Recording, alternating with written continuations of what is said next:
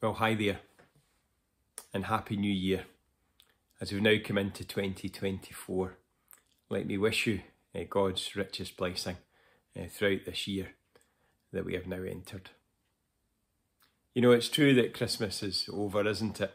So we start to take the decorations down, the house begins to look uh, particularly bare um, with all of the, the tinsel and, and the lights and all the various other bits and pieces that, that make Christmas at our place. Um, it's all gone and the place looks bare again. And Christmas is over uh, for another year.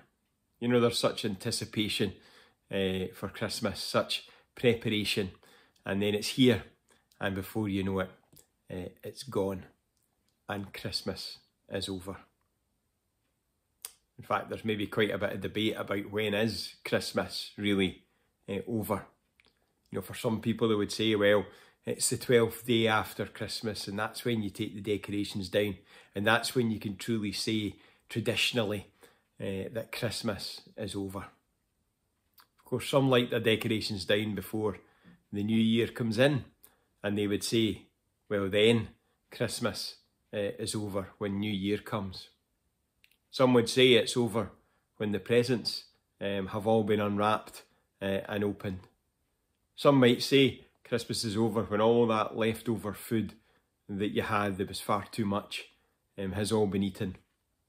Perhaps others might say it's when the toys have uh, been broken or discarded. For others, it might be when uh, family uh, leave again and when the house becomes empty. For others, it's when life returns to normal and we start to get back to some uh, kind of structure again.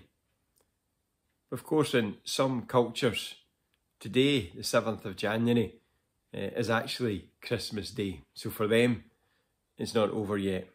In fact, there's even an island in the Shetland Islands, Foula, um, that will have celebrated Christmas yesterday on the 6th of January as they hold to the Julian calendar. And so Christmas for them is really still being celebrated. And yet, despite all of that, the time will come eh, for all when Christmas will be over. It will have passed and it will have gone. And as we do pack away all of the decorations, and as the tree is taken down, and the nativity scene with the baby Jesus is carefully uh, wrapped up and put away uh, for another year, is that it over? And if so, what difference has it made to our lives? What difference has Christmas made? Uh, for some, it might have left large bills that perhaps is going to take until next Christmas before they're really properly cleared. For others, the reminder of how much they miss those that are no longer with us or couldn't be with us this season. For others, it's still it's a disappointment and the disillusionment of what might have been and wasn't. But here's the question. What difference does Christmas really make to us?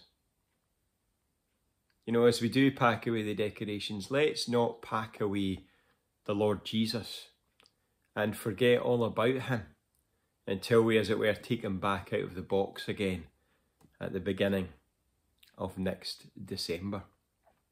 You see, the point really is that if Christmas is really about Jesus Christ, then really it's never over.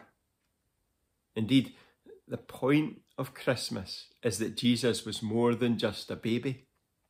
He was God as a man.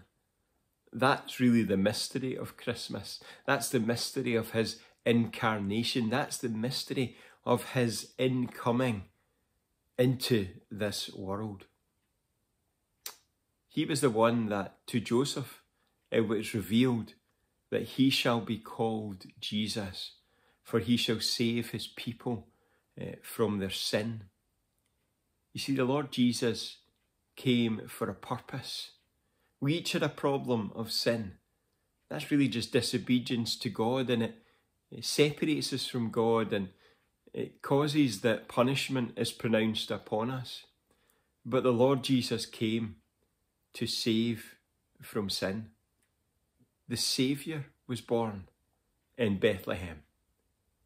But you see, the fact he was born didn't make him Saviour. The fact he was in a manger has no real impact upon us. That didn't make him Saviour. He grew up and he lived a perfect life and he went about doing so much good for others and teaching some great moral lessons uh, through wise counsel. And yet, none of that uh, made him a saviour uh, for us. It was the tree that made him saviour. Oh, not the Christmas tree that uh, we've taken down, but the cross of Calvary where he was lifted up. Lifted up uh, to die there on that cross at Calvary and dying for our sins, he fulfilled the purpose uh, for which he came.